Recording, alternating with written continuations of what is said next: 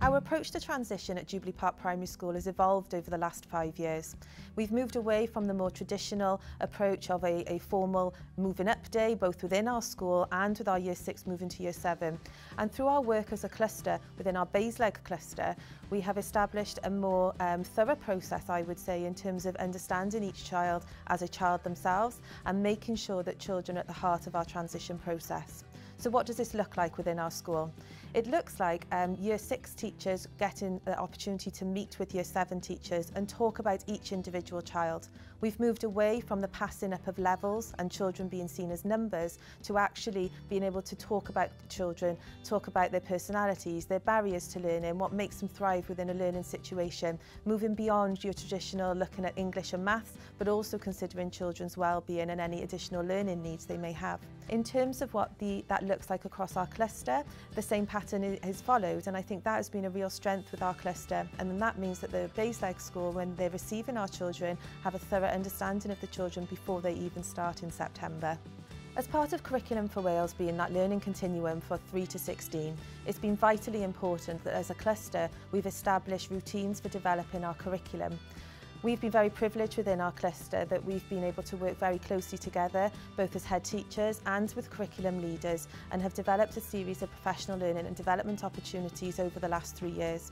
What this has enabled us to do is to really understand each other, first and foremost. What makes us tick? What drives us within our individual schools? I've been involved in the approach to transition that we've developed as a cluster and as an individual school. It's been important that we've together as a cluster gained this oneness of purpose so that we've developed a story that talks about the child and the child's progress from transition, right from nursery right through to the age of 16. In the past, we've talked about transition being just between year six and seven predominantly. However, transition is about from one class to another class, so that, that three to 16 continuum um, it, it is clear right through the phases and the progression steps as they will be in terms of um, the new curriculum. So I've been involved in managing that change process, having been ahead for over 20 years and involved in an accountability system that's focused on things that really haven't been useful for the learning and teaching dynamic. So through our professional learning and development sessions, we've been able to develop that consistency, the coherence and the understanding of Curriculum for Wales, what it looks like in our own individual schools, but what it also means for us, particularly when our children get to year six and how we can ensure they have the necessary skills to move into year seven. All of our schools within the cluster use the four purpose matrices to ensure that our children have the necessary skills before they move to year seven. This allows then the year seven teachers to develop their curriculum from that point. They're not having to test our children when they arrive. They're not having to second guess what has been learned, but they're actually able to move that learning forward and crucially move that learning forward towards the four purposes. As part of our cluster curriculum design, we've also spent a lot of time over the, this academic year looking at assessment and progression. We've established our assessment cycles within our individual schools, but also ensured that we have a focus on those principles of progression. The principles of progression that are identified in Curriculum for Wales are the backbone of our conversations. We ensure that across the cluster there is commonality within our cycles of assessment. Yes, we may do things slightly differently in terms of our individual school needs, but we all have made a commitment to ensure that our children have a very similar approach to assessment and progression. We also have a common report format in primary schools across the cluster for our annual learner review that goes home to parents at the end of the summer term. There are many steps to our transition process, um, feeding in from our assessment cycles at Jubilee Park. Um, so every half term we have um, our PLRs, pupil learning reviews, where we are released as teachers for a day to go out and discuss um, learning with our children, uh, our, their barriers to learning. So we have a really good understanding of, of where they are, along with the other assessments that we do of, of learning within the classroom. Um, this then helps us feed into that transition process um, and have the collaboration with their next teacher and in my case as a year six teacher with the comprehensive schools that they will be going to. As part of our work on assessment and progression, we also have joint professional learning and development for our teachers.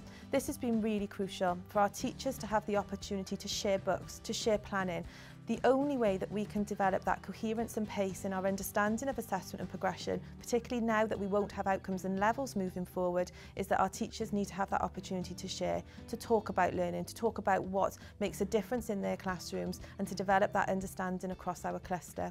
Moving forward, we're going to be developing a cluster learner profile, which will identify what a good learner looks like at each of the progression steps. This is a huge journey, and this is something that will take a number of years to develop. Developing a cluster curriculum and developing transition arrangements in light of Curriculum for Wales is a challenge. First and foremost, I think it's been a challenge for us as head teachers, for us to put trust in each other and for us to also trust that what we're doing within our individual schools is right. We've had to stay true to ourselves and one of the ways we've really overcome this is by developing a cluster vision. We have a separate vision that encompasses many of our individual school vision principles but also brings together what we actually stand for as a cluster. Some of the other challenges have been time. We've had to put a lot of time and commitment into meeting, both as heads, meeting once a month for the last year to make sure that this curriculum development actually works, but also time for our staff. We've used grant funding to enable this to happen, and we've also enabled the use of, of things like our Education Improvement Grant to support teachers to come out of class and to have time together. Time could be seen as a barrier, for, but for me it has been overwhelmingly successful and I believe you have to put that time and that trust into your profession to enable a cluster curriculum to develop. Transition within my own school is focused now primarily on the story of the child. We focus on the things that matter to children in terms of their progress. We want to make sure that what we talk about and what colleagues talk about, both in my own school, within the cluster, and between um, schools at different phases, focuses on the child as a learner and the next steps that the children make. So we don't talk about levels or outcomes or assessments as raw data any longer.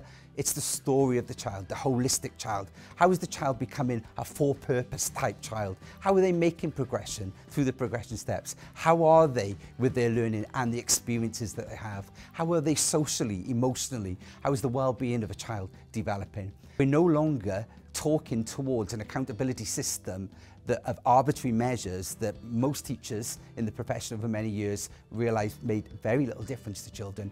We're now talking about those steps in their learning, the next steps for that child.